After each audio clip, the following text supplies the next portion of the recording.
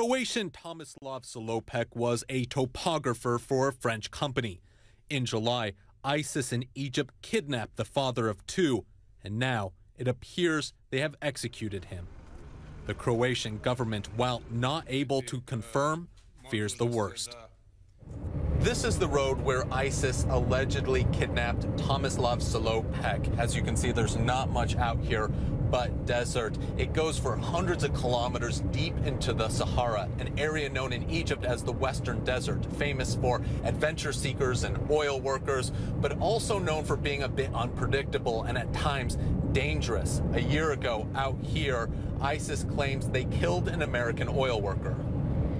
ISIS demanded the release of all female Muslim prisoners in Egypt in exchange for Salopek, giving the government 48 hours to comply, but the deadline passed. That speaks to the heart of what's driving a lot of the angry Islamist youth inside Egypt, uh, who, in the patriarchal Muslim society that Egypt is, the issue of female honor um, is so dear that violence is always justified to protect it. ISIS in Sinai routinely executes alleged spies and captured Egyptian soldiers.